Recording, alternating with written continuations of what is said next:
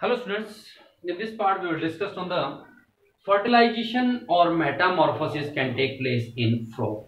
Firstly, fertilization.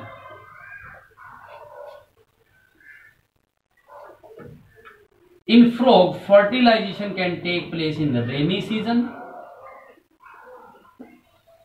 because in the rains they comes out and this is the accurate time period for breeding तो fertilisation can take place in frog rainy season a female frog a female frog lay eggs 2,500 to 3,000 in once और one time during the laying eggs, the male frog climbs up the body of female frogs. जब female frog lay eggs करती है तो उसी समय male frog female frog की body के ऊपर क्लाइंब अप कर देता है tight holdly with the help of copulatory pad that copulatory pad is present in the first digit in fore limbs and at that times the both the same time means female lay eggs and male ejaculate sperm means female जब lay eggs करती है तो इस eggs के अंदर, उसी समय body में मतलब बॉडी से बाहर फीमेल क्या करता है मेल क्या करता है स्पर्म को इजैकुलेट कर देता है। Firstly this laying eggs as well as fertilisation can take place in water as we have already discuss frogs are amphibian Water is required for the fertilization. So fertilization can take place in water. As the female lay eggs, the male ejaculate sperm and these sperm fertilize the eggs. This is called fertilization.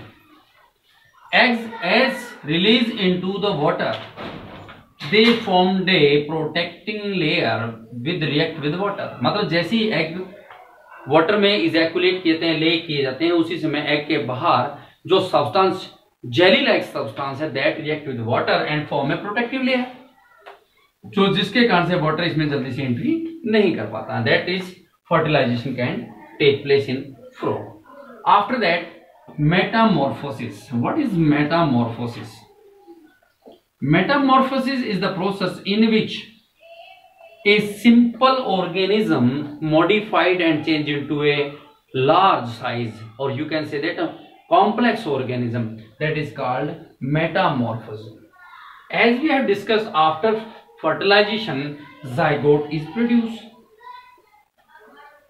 मतलब after fertilise the egg जैसे sperm egg को fertilise करते हैं they form the zygote और zygote to larva और you can say that larvae और tadpole and tadpole to adult frog. One more thing, when the zygote to larva comes out, this larva doesn't match with the frog. And we know that this type of development is known as indirect development.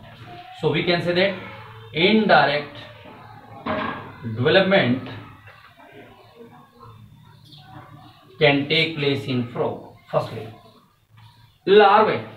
Larva consist in this one like structures.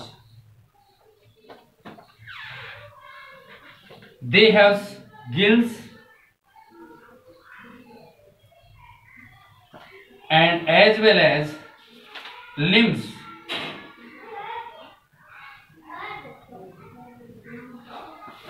And they contain a large tail A larva consists large tail. But as these larvae change into adult frog, there is lack of tail.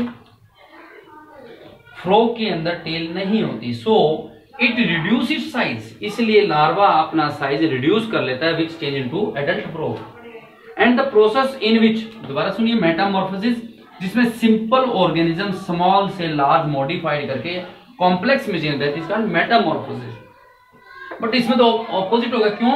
Larva is the larger size than the adult frog because it contain tail but when it change into adult frog they contain, yeah, there is absent of tail. So, they reduce the size. इसलिए जब adult frog बनता है तो उसका size reduce हो जाता है। और रिड्यूस हो जाता है, इस प्रोसेस क्या बोलते हैं? This is called retro metamorphosis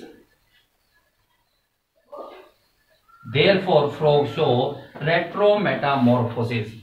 Otherwise metamorphosis simple change into complex or a, you can say that modified organism.